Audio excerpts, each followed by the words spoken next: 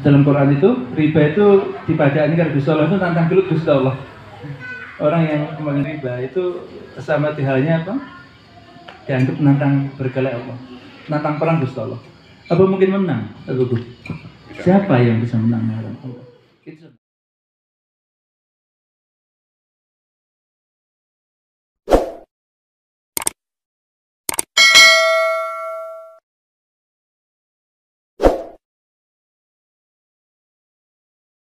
Gitu aja. Ini ada treatmentnya. Berarti setan, setan itu mengganggu anda ya pada jam-jam itu. Maka kalau jam-jam itu perkuat wiridnya, perkuat zikirnya. Ini ada ilmunya. Jadi saya kemarin sudah bilang ke Ustadz Gufar, mungkin saya ingin semua guru TKIT ATSD kita kan sukses. Ya, sukses secara mental, secara rohani, secara keluarga, dan yang biasa diharapkan kan sukses secara finan, finansial. Itu dari wajahnya ibu-ibu itu kelihatannya finansial itu penting. Termasuk istri saya, itu penting sekali. Ya, saya mungkin kalau nggak finansialnya mapan mungkin nggak disayang pak. ya cuma karena mungkin saya beruntung ya. Jadi wajah nggak beruntung tapi finansial beruntung saya itu. Jadi dapat istri ya agak perhatian ke saya, agak ya. Hah? Ya 100 persen. jadi itu semuanya, jadi itu bisa di checklist di pola. Jadi semakin ininya apa semakin jenengan nanti selalu berprasangka baik, menyikapi sesuatu dengan hikmah kebaikan, maka otomatis nanti doa-doa Anda akan mudah dijawab. Contoh, saya sakit kemarin, saya sakit, saya langsung minta maaf pada istri saya. Saya sakit, saya minta maaf ke anak saya, mari saya cium tangannya. Saya sakit, saya minta maaf ke Isan, ke Safa, ke kakak, semua tak panggil, semua saya minta maaf semuanya. Ya. Ke teman yang datang saya juga minta maaf. Apa itu buntut bahwa kita ini manusia yang lemah dan harus mengakui kesalahan. Karena kita memang tepatnya salah gitu loh. Jadi saya, saya itu mohon maaf, tepatnya eh, banyak kesalahan, banyak dosa kita. Makanya kenapa nggak boleh sombong? Karena kita tuh banyak dosa, banyak kelemahan, kita tidak boleh merasa paling mulia, paling baik dibanding yang lain. Jadi Allah itu suka orang-orang yang rendah hati. Allah itu suka orang yang rendah hati, yang mudah memaafkan, nggak merasa paling baik, nggak merasa paling benar sendiri, dan ngakoni kesalahan. Jadi aku salah, jadi luput. Saya ketika sakit, itu yang nampak dalam bayangan saya hanya dosa-dosa saya.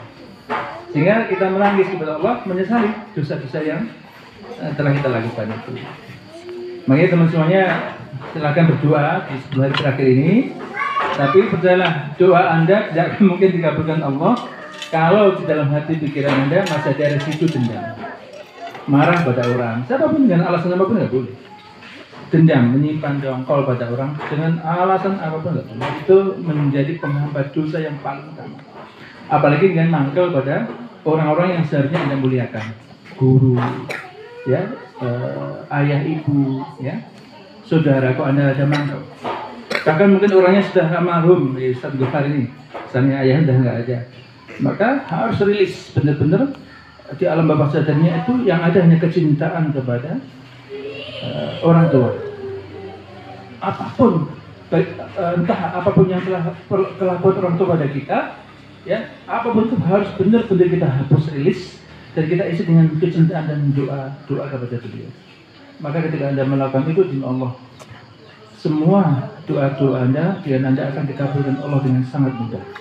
Dan ketika dikabulkan, anda akan tetap tawaduk, jadi tetap rendah hati, karena menyadari bahwa kullu man kita akan berujung pada ketiadaan. Jadi itu sedikit pengantar rohannya untuk introspeksi sendiri dan juga mungkin bisa bermanfaat pada bapak ibu sekalian. Berikutnya ini ada sedikit bingkisan, tapi nggak besar ya. Bingkisannya kayak kemarin-kemarin. Ya, cuma saya nggak bisa ngasih THR. Kalau dulu tak kasih, ada. Oh ada, alhamdulillah. Uang dari mana? alhamdulillah. Untuk guru-guru kan? Cuma hebat. Saya nggak menganggarkan. Karena saya kemarin bayar udah anu THR besar untuk karyawan dapat double. karyawan saya kan PT SMP klinik semuanya kan kita kasih THR. Ini ternyata Bu Arin ini uangnya sendiri itu mungkin. Belum gak uangnya sendiri nih. Karena saya nggak ngasih, saya ngasih uh, bingkisan dan beberapa untuk lingkungan. Alhamdulillah ini berarti rezeki ya. Ini gak ada koordinasi soalnya. Doakan semuanya ibu sekalian agar perusahaan kami usaha kita itu apa baru berkembang. Karena saya sama Bu Arin berjanji bahwa semua usaha kita 95% untuk fisabilillah. Ya. Tidak sama sekali untuk saya pribadi tidak. Uang saya beli tanah-tanah tak kasih kasihkan kok. Kita kasihkan nikah. Doakan kita beli dari Pak Adi ya. Pak Adi bisa kita beli. Nanti Ustaz daerah tak kasih satu kapling Pak. Iya. Pokoknya guru-guru yang lain juga nggak sama gitu.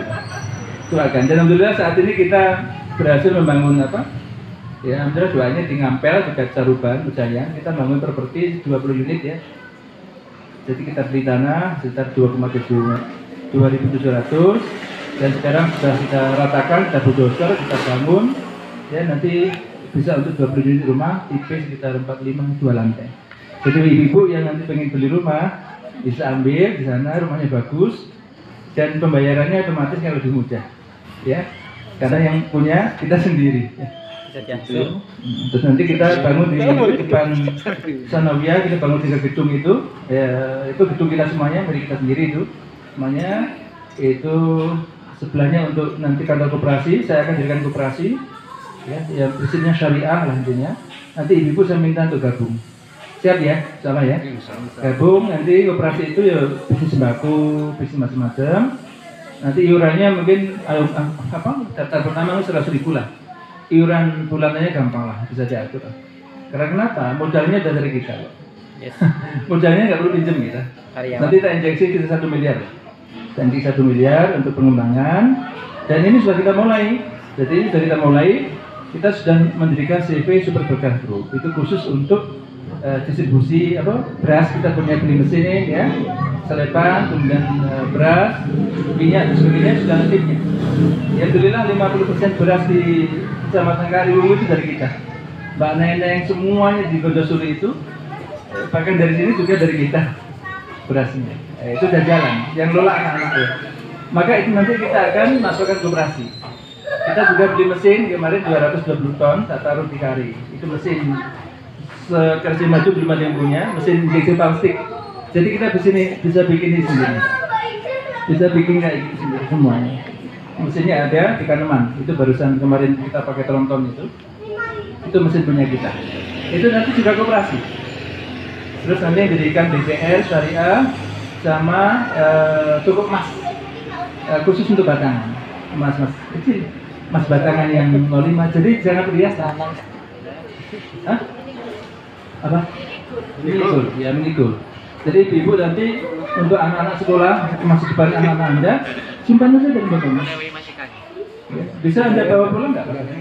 Intinya kalau kita nyiapkan deposit boxnya itu untuk benar-benar usaha-usaha yang konkret tapi aman ya, bukannya nipu-nipu loh, ya bukan narik dana, saya nggak narik dana anda. Jadi anda nggak mungkin dirugi. Jadi kalau yang lain itu kan narik dana, iya. Ya, cuma nanti ya harap maklum kalau pembagiannya SHU. Anda kan cuma Sedikit. sumbangannya seratus ribu. Akhir tahun ketika tahu keuntungannya koperasi keuntungannya satu dua miliar. Ya tetap yang paling banyak yang ngasih modal besar kan, betul nggak? Nanti yang seratus ribu tuh aku cuma oleh emang telung ratus sewu Bagi rata. masa masa sendiri oleh apa lima ratus juta ya adil ya. bukan itu ya anda harus kalau mau dapat banyak ya. Iuran apa? Investasinya agak banyak. Jadi ini memang nanti kita buat sistem seperti itu agar nanti ke depan kita nggak terjerat riba. Jadi teman-teman nanti kalau ke depan ya butuh sesuatu pengen usaha apa apa insya Allah kalau kita punya koperasi syariah ya kita nggak perlu lah sampai menaat terkena riba. Karena riba itu yang membuat belenggu. Kita terjerat Allah rahmat Allah berat datang ke kita ya riba itu berat. Bahkan dalam Quran itu riba itu dibacaannya kalau Gusti Allah itu tantang gelut Gusti Allah. Orang yang kemarin riba itu sama halnya apa? Dianggap nantang berkala Allah. Nantang perang Gusti Allah. Apa mungkin menang? Siapa yang bisa menang melawan Allah? Itu sama. Tapi yang masih riba untuk sahabat juga nggak masalah. Ini banyak istighfar banyak sedekah nanti insya Allah akan apa baik juga. Tapi ke depan saya kita semuanya harapan kita kita bikin usaha yang tanpa riba. Jadi prinsipnya tahun, ya. Nanti kooperasinya mungkin kita apa? Mungkin Mas Bukul lah saya minta membantu saya, membantu saya untuk pengembangan itu. Itu eh, sedikit apa progres itu buat kalian. Dan ini nanti, ini nanti usaha ini kan usaha ini ini berapa menit? Tujuh bulan ya, delapan bulan. Delapan bulan ini saya kasihkan ke anak-anak yatim. Jadi yang ngelolanya anak yatim. Saya sama Bu Arin serupiah pun nggak pernah dapat penghasilannya. juga ya. Jadi serupiah pun saya nggak dapat. Jadi murni ini di Andri Alpin. Eh. Andri Alpin. Jadi bensin, angkringan ini kita nggak dapat. Serupiah pun tak modali berapa? Sekarang 100 jutaan ya. Komplit semuanya ya ada satu miliar tuh. Satu tempati ya. Satu tempati komplit semuanya. Itu, tapi saya sama Bu Ari teman-teman nggak ngambil serupiah pun. Pokoknya hasil yang di PRR dikembangkan. Saya hanya bingung tapi aja. Ya, itu makanya anak-anak semangat. Mas Alvin itu kan ayah tim tetangga saya, Mas Andri tetangga saya. Emang saya prioritasnya tetangga sekitar saya dulu. Ya, itu dan ini karena eh, kurang berkembang ya, bah- bahkan efeknya jelek. Anak saya juga Pak Aris Hisam itu jadi error. Jadi sering apa? Game di sini sampai jam 1 malam, subuhnya telat, jarang sholat di masjid. Ada-ada semuanya yang dulu ramai sholat, 10 anak sholat di masjid gara-gara tak bukakan ini gak pernah sobo masjid. Makanya saya sambung Arin terus diprotes eh, bengak-bengok sampai jam satu malam. Ternyata ada secara istigharah ini nanti tak tutup. Bisa tutup, saya pindahkan ke kita kan buka di apa Dolok ya sama Cipilang Kenceng, saya pindah ke sana untuk minimarketnya dan ini kita ganti nanti untuk apa toko bangunan, toko besi. Dan ini nanti salah satu usaha koperasi. Jadi nanti kan anggota koperasi Ayo kaget. Koperasi ini bu, apa? Bu situ kok di toko bangunan. Nah, koperasi ini eh, saya kira, oh, sendiri punya apa? Toko emas ya. Duit kau di, kok cepet men yang koperasi KUD panti gitu aja kan? Nah, ini namanya keberkah, keberkahan. Saya mohon doanya, masukannya agar benar ini jadi usaha berjamaah. Jadi ini saya sama istri saya bilang, Wi, anak-anak warisan gak usah dipikir nanti. Kita untuk fisabilillah bisa usaha waris itu kita warisi ilmu akhlak aja. Kita warisi, kita bekali ilmu dan akhlak saja. Allah kalau bisa boleh tangan diri, gak usah mengandalkan warisan orang tuh doanya. Jadi itu doktrin saya. Jadi istri anda setuju. Jadi yang membuat saya nggak bisa berpaling ke lain hati saat ini gara-gara istri saya setuju gitu. Kalau istri yang lain kan, oh tutupi itu di PDW gitu. Makanya saya nggak berani poligami. Padahal banyak. Takut kualat. Yang mau banyak. kalau dulu, kalau dulu sempat pengen. Sebelum saya 40 itu saya agak error ya, kalau sering tergoda. Tapi 40 ke atas sudah. Ya. Sudah insaf. Insya Allah. Insyaallah. Nggak pengen lagi ya. Udah tenang. Kita tenang, alhamdulillah. Insyaallah. Dulu pas belum punya duit, duit sedikit itu rada error. Bahaya gitu ya. Dan banyak yang mau. Setelah setelah alhamdulillah Allah berikan karunia, kita tambah semakin apa? Nah, Semakin biasanya tambah duit itu tambah istri, Mas. Banyak yang doakan. makanya jangan kaget itu semuanya. Ini mungkin saya itu dapat fitnah banyak. Ya, Pak Andri sudah berubah aneh itu karena saya kan ke mana-mana selalu tidur di makom. Jadi saya itu kalau diundang ke seluruh Indonesia disediakan hotel hotel bintang 3, bintang 4 itu saya nggak pakai tapi saya memilih tidur di makamnya para ulama. Para ulama. Sendirian di makam itu saya sendirian. Ya, di Palu, di Banjarmasin, di apa di mana Semarang, di Demak, itu teman-teman pelatihan tuh pemerintah sampai ke saya itu protes, disungkan, Terus supaya hotel, supaya macam-macam. Pak Andri tidur sendirian di makom. Tak aja gak ada yang mau satu pun nemenin. Mas Nasrullah, mana temen yang di sini yang Ya, ya, ya. itu, itu itu nggak berani. Nggak berani. Nemenin saya jam satu, jam satu kelihatannya sudah mulai nggak biasa kan, kan mungkin pemahamannya kan dia nggak biasa kayak gitu gitu. Akhirnya jam satu malam ketika saya di Palu tidur di makamnya Habib eh, Syekh Al Jufri eh, itu itu anu, itu kakeknya Ustaz Salim. Eh, anu, PKS apa? Dimaksudnya PKS itu Ustaz Dr. Salim Al Jufri itu ternyata saya pas ke sana lihat uh, foto-fotonya Dr. Salim Al Jufri Eh, apa? Dimaksudnya PKS Nah, saya nggak ngerti. Ya tahunya ketika saya di situ tuh di pas di makam ya tidur sama teman pulang saya tidur situ alhamdulillah ya bangun subuh gitu. Berapa habib-habib semuanya habib-habib di sholat berjamaah setelah hidayah pak bapak dari mana? Saya dari Madiun terus saya diajak keliling ke masjid ke komplek yayasannya terus ada Dokter Salim. Terus saya tanya ini memang kakeknya? Kakeknya Salim. Ya asbaja tulen tulen pol.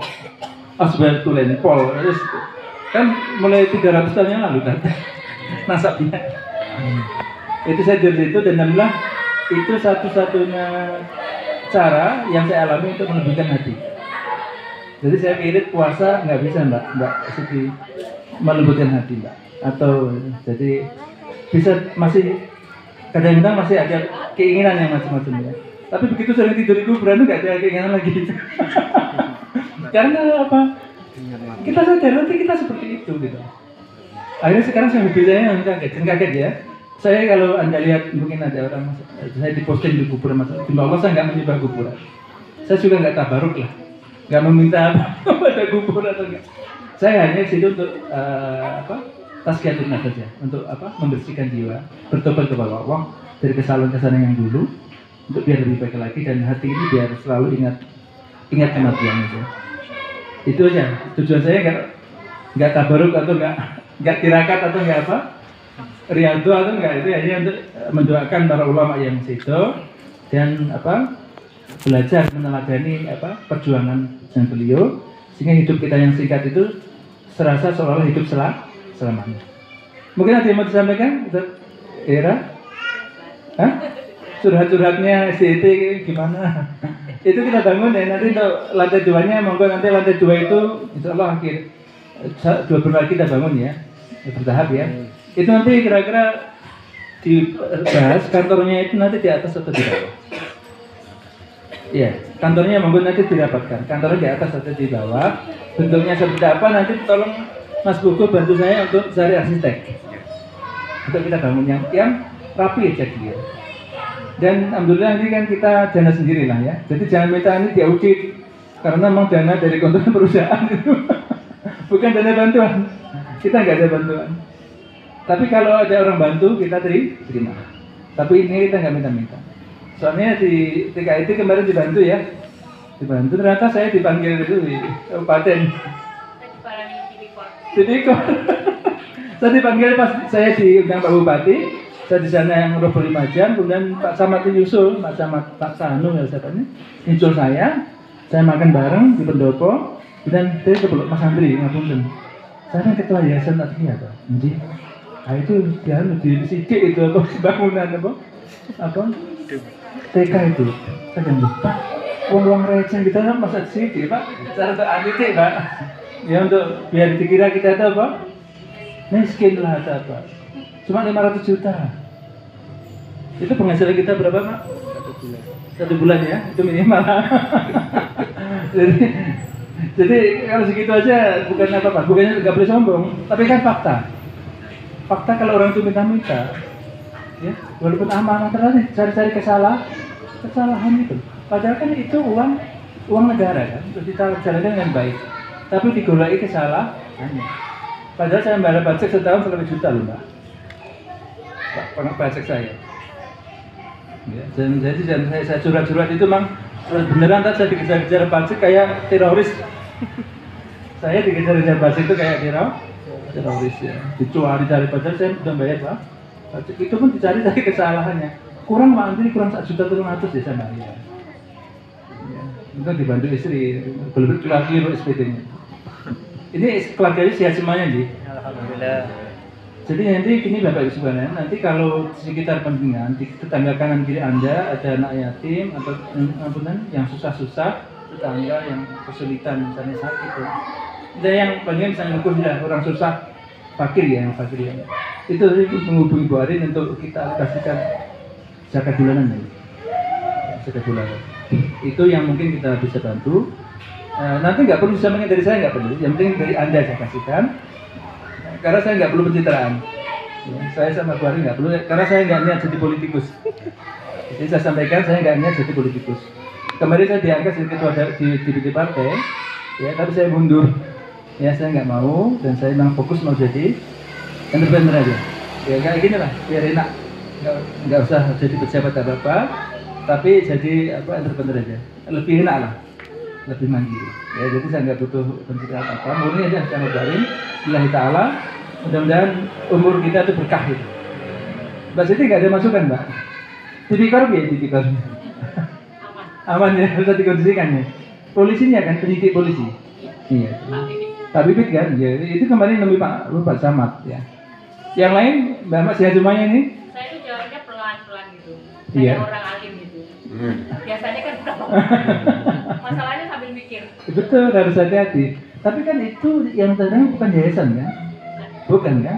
Itu lembaga apa? Saya bingung tuh. TKI TKID. karena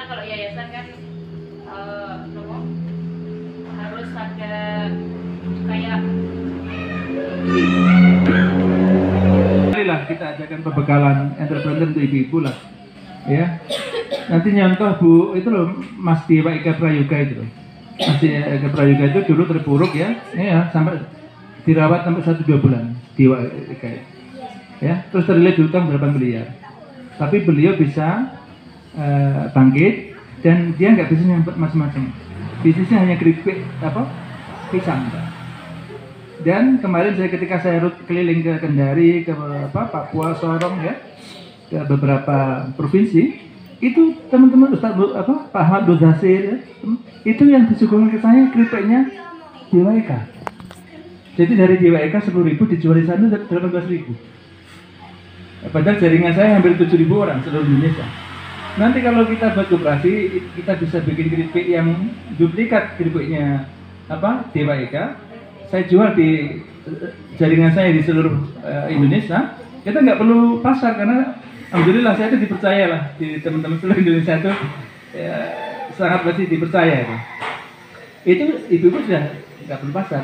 Tapi memang kita middle up keripiknya keripik menengah ke atas, bukan keripik yang Soalnya di sini banyak orang bisa bikin keripik enak, tapi nggak punya market, nggak bisa market, marketing.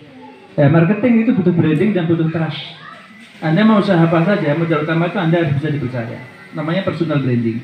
Ketika orang nyebut Mas Buku, maka kesan pertama bahwa oh Mas Buku itu orang yang bisa dipercaya omongannya. Mas Buku itu orang yang aman. Siapa pun yang mengenal Mas Buku nggak pernah namanya di menipu, Mas Buku itu pokoknya orang yang selalu beli tambah, memberi nilai tambah. Orang kenal Mas Buku, dia akan selalu mendapatkan tambah ilmu, tambah manfaat, tambah tenang, tambah sabar dan sebagainya. Itu personal brand branding. Jadi Anda semuanya harus memiliki personal branding. Ustaz Hera disebut nama oh, itu orangnya sabar gitu. Gitu. Jangan sampai Ustaz Hera, oh orangnya jibita jangan. personal brand branding itu contoh itu yang dapat saya sampaikan. Ada yang lain mungkin? Ibu-ibu, bapak-bapak, Mbak Susi, keluarga sehat, Mbak? Alhamdulillah lama nggak ketemu Mbak Susi. Soalnya masjidnya rame itu ya. Ustaz Dauki, gimana? Sehat ya Bu? Masih dapatan? Apa? Sertifikasi? Masih ya Bu? Sekarang ngajar di MA nih? TKI Oh, oh nggak di MA? TKI itu? Oh, sama di MA. Oh, gitu. Saya. Itu yang dapat saya sampaikan ibu sekalian. Kalau ada masukan, kritikan apa pun, sampaikan ke Bu Arin atau saya terus terbuka. Kita terbuka karena kita satu keluarga. Ya, kita satu keluarga dan yayasan Agia ini murni ya, yayasan dakwah tidak berafiliasi ke mana pun, cuma saya pegang teguh. Makanya, Hah? Oh iya, Mas Ya, dan nanti rutin sebulan sekali koperasi terbentuk kita adakan. Bahkan nanti kalau perlu ketuanya kalau yang mampu perempuan tak kasih amanah. Enggak Siti mampu, tapi duit besar mbak harus yakin ada sih. Itu. ya nanti kita kalau butuh pertemuan di sini boleh dipakai. Kalau anda representatif di kantor kita itu luas ya, itu itu juga ada ruang-ruangnya. Ya, itu yang dapat kita sampaikan. Ya, mohon maaf atas segala kekurangan. Mudah-mudahan ini menjadi silaturahim yang kekal sampai akhir hayat kita. Amin amin ya rabbal alamin. Pada taufik walidayah, ridha walinayah. Assalamualaikum warahmatullahi wabarakatuh. Selanjutnya ke Bu Arin silakan.